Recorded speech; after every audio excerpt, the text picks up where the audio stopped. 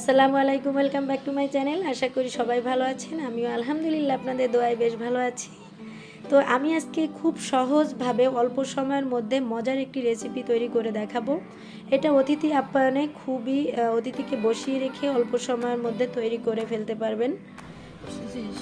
তো চলুন দেখে নেই আমি কীভাবে এটা তৈরি করছি। তো প্রথমেই আমি নিয়ে নিচ্ছি একটি ডিম। আমি বড় সাইজের একটি ডিম নিয়ে নিয়েছি। ডিমটাকে আমি ভালোভাবে ফেটিয়ে নিচ্ছি। ফেটানো হয়ে গেলে এর মধ্যে দিয়ে দিব চিনি। চিনি আমি হাফ কাপেরও কম নিয়েছি। আসলে চিনিটা ব্যবহার করবেন যার যার টেস্ট অনুযায়ী। কে কতটুকু মিষ্টি পছন্দ করেন সেই অনুযায়ী দিবেন।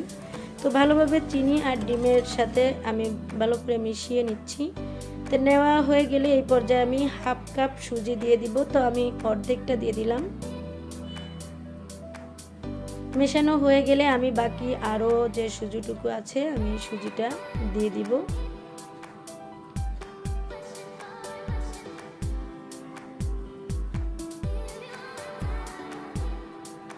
এটাও ভালোভাবে মেশানো হয়ে গেলে এখন আমি এই পর্যায়ে দিয়ে দিব হাফ কাপ চাউলের গুঁড়া।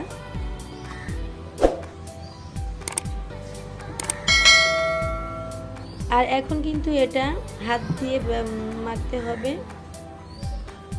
তা আমি ভালোভাবে হাত দিয়ে মেখে নিয়েছি। এখন আমি আরও আধা কাপ চাউলের গুঁড়া দিয়ে দিচ্ছি।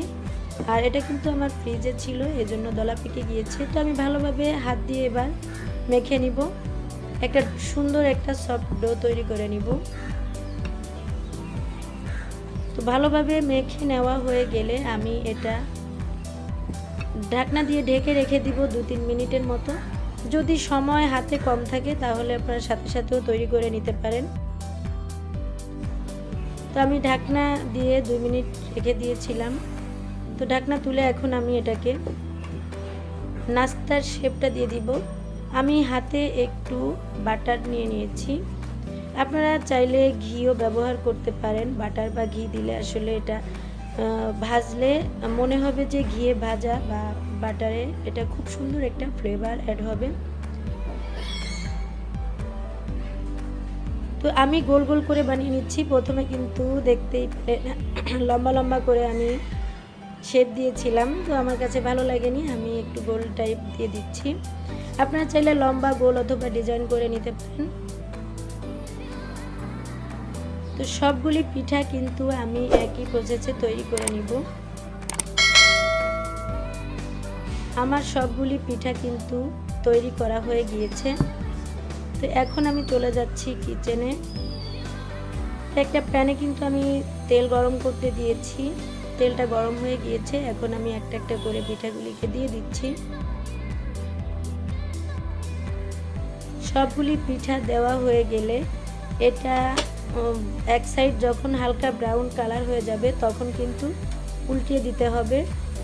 তো এই পর্যায়ে কিন্তু একটু নরম থাকে, এটা আলতো হাতে উল্টিয়ে দিবেন। আর খুব সুন্দর ফুলে উঠেছে, দেখলেই বোঝা যাচ্ছে। আর এটা খেতে কিন্তু ভীষণ মজার। আপনারা অবশ্যই একবার হলেও ট্রাই করতে পারেন।